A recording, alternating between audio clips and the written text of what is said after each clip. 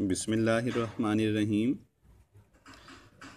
Iron के बारे में हमारा क्या इल्म है, इसकी क्या हिस्ट्री है और इसकी कितनी टाइप्स हैं।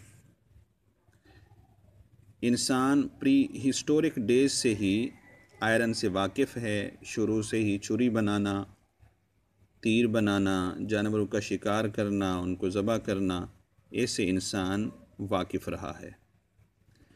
मिस्र के अंदर हज़रत ईसा की पैदाइश से 1500 साल पहले भी लोग आयरन के इस्तेमाल से वाकिफ़ थे। चाइना में 2500 बीसी जबकि बर सग़ीर में 600 बीसी लोहे के बारे में वाकफ़ियत हुई। ओर्स ऑफ़ आयरन आयरन की ओर्स तीन किस्म की इसकी ओर्स हैं। Magnetite F E three O four चूँकि आयरन की ऑक्सीडेशन स्टेट ना तो प्लस फोर होती है, इसको इधर ले आएँ और ना ही ऑक्सीजन की ऑक्सीडेशन स्टेट माइनस थ्री होती है, इसको यहाँ ले आएँ। दरअसल ये फेरिक ऑक्साइड और फेरस ऑक्साइड का वन रेशो वन के साथ एक मिक्सचर होता है।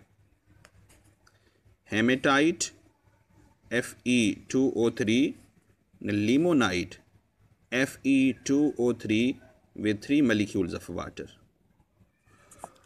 ores कहते हैं कच धात को।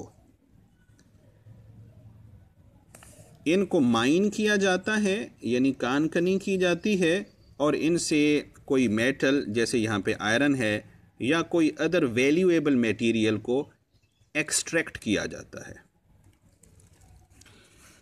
कमर्शियल फार्म्स ऑफ़ आयरन लोहे की तीन अदद कमर्शल फॉर्म्स हैं पिग आयरन या इसको हम कास्ट आयरन भी कहते हैं। दूसरा है स्टील और थर्ड वन है यहाँ पे राट आयरन हम इसको राट आयरन से स्टार्ट करते हैं। इसमें कार्बन की परसेंटेज 0.12 से 0.25 होती है। और स्टील में इसकी परसेंटेज ज़्यादा होती है, ज़ीरो पॉइंट टू फाइव से टू पॉइंट फाइव, जबकि कास्ट आयरन यानी पिग आयरन में टू पॉइंट फाइव से फोर पॉइंट फाइव होती है।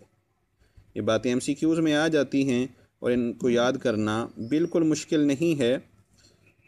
ज़ीरो पॉइंट वन टू से टू पॉइंट फाइव और इसी में टू का इजाफा कर देंगे, ज़ीरो पॉइंट टू फाइव से टू पॉइंट फाइव और फिर इसमें टू का इजाफा कर देंगे, टू पॉइंट फाइव से four point five percent. Carbon की परसेंटेज दरअसल आयरन की किसी कमर्शियल फार्म की बुनियाद बनती है। ओके जी, अल्लाह हाफिज़।